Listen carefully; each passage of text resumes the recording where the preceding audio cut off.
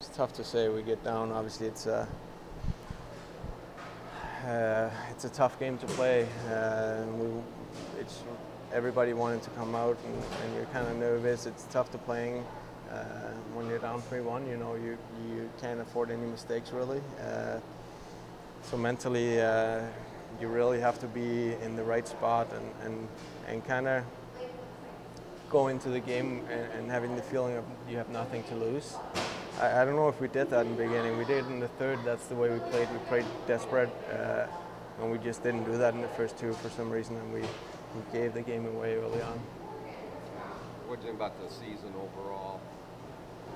I, I, think it's been a good year. It's been a, a, a difficult year in some ways. Uh, we've had a really good group of guys here. Uh, uh, a lot of different call-ups. Uh, the, the, team changed a lot around the deadline. Uh, a lot of we lost three D-men the last around the deadline, uh, and somehow we recovered. And, and, I think we played our best hockey the, the, last month of the season, and that shows uh, a lot of character to. Uh, and uh, I'm, I'm, proud of the, the new guys that came in and really uh, did a good job for us. Uh, obviously, we're disappointed right now. It's tough to lose out, and it's kind of surreal. You're, you're in the middle of a playoff battle and all you think about is the next game and, and your next shift, and then all of a sudden, bam, it's all over and it's done. Uh, so it's uh, it's the same every year. It's a tough feeling. Unless you win, you you have this feeling, and it's. Uh, is there any one thing that kind of stood out to you that gave them the edge in the series uh, over the uh, course of the five games?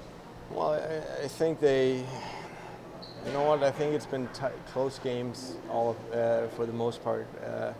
Obviously they, they seem to just bury their chances whenever they had the, their opportunities, and, and, we probably didn't as much. Uh, it was, you know, it was 2-1 overtime last game. Uh, if we if we get the bounce there, it's 2-2. It's a completely different series. Tonight would have been different too. So it's small things. It's it's. Uh, it, it's a game about bounces, and, and sometimes it goes the wrong way. And I think I don't think it was a 4-1 series. I think we were closer, and I think we could have we could have taken them all the way to the, the wire. Uh, I think we deserved that, and uh, but they, they deserve to win. They're they're a good team, uh, so congrats to them. But I, but I thought uh, we deserved better. Looking back at it, uh, that Thursday night game, the overtime loss was that maybe the, really the biggest game of the series. Oh, for sure, it's a huge difference.